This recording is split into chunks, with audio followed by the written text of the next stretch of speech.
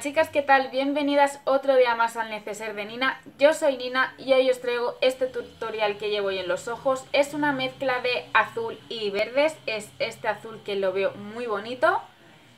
Es, os voy a hacer el swatch. Es este de aquí.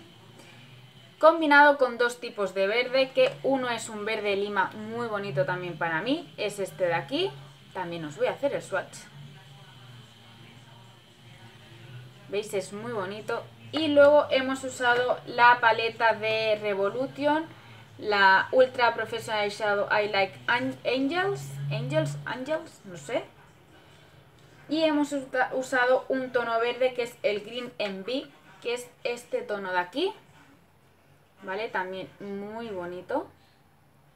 ¿Vale? Tiene reflejos dorados que los veo muy chulos. ¿Vale? Es este de aquí.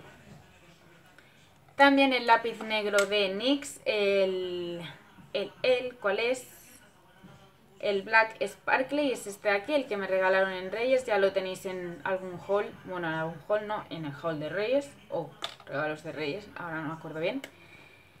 Y em, labial, el labial he usado el Hook Gable, Lip Color Extra Sweet de MAC es este de aquí y también os voy a hacer el swatch. Es así y como veis es un tono muy suave para el día a día. Y no me enrollo más porque ya sabéis que yo me empiezo a, empiezo a hablar y no paro. Os dejo con el tutorial, con el paso a paso y espero que os guste. Hasta luego, chao. Aquí como veis yo ya me he trabajado la piel, con lo cual comenzamos aplicando una prebase de ojos eh, waterproof, en este caso es la de NYX.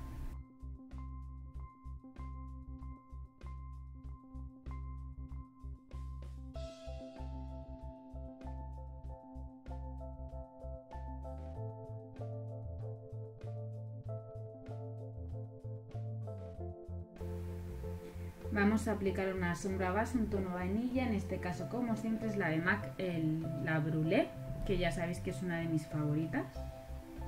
Y la aplicamos en todo lo que es el párpado móvil. Ahí tengo una pequeña mancha de máscara de pestañas.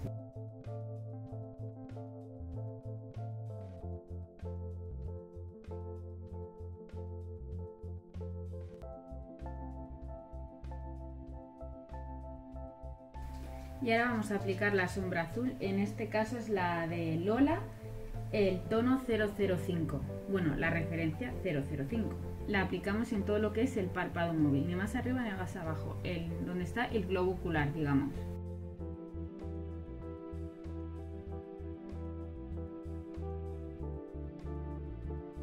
Vamos a aplicar ahora una sombra verde, es también de Lola, la referencia 030 y la aplicamos con una brocha difuminar en todo lo que es la zona de transición, lo que es la cuenca. Y ahora también vamos a aplicar encima para oscurecer un poco este tono lima, la de la paleta Angels de Makeup Revolution, la referencia Green Envy. Es un tono muy bonito, un, un, verde con destellos dorados. Y ahora vamos a hacer lo mismo en la parte de abajo, con un pincel también de difuminar. Retiramos el exceso de producto si se nos cae y lo repasamos bien. Ahora con la, con la cajita esta de Brush Tools que lleva una esponjita porosa para limpiar la, brocha, vamos a limpiar la, la brocha de difuminar porque sinceramente a mí me va genial para hacer este tipo de trabajo.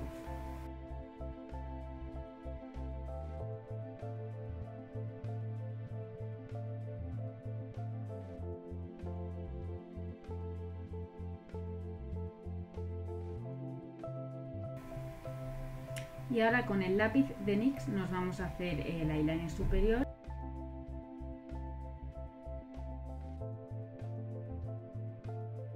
Con una brocha eh, distinta de difuminar vamos a, difuminar lo que es el lápiz en la parte de arriba para que no nos quede más, tan, tan marcado. Vamos también a marcarnos la línea de agua, también con el mismo lápiz, ¿eh? con el de NYX.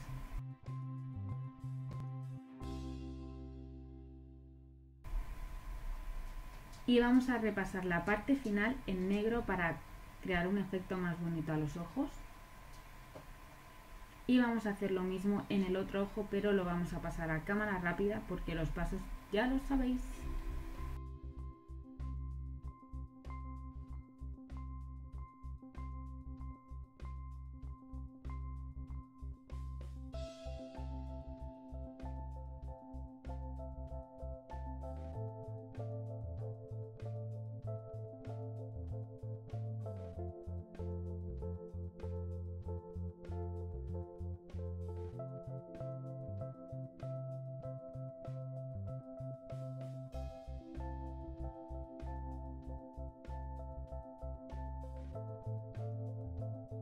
Ahora vamos a repasar la piel con unos polvos compactos.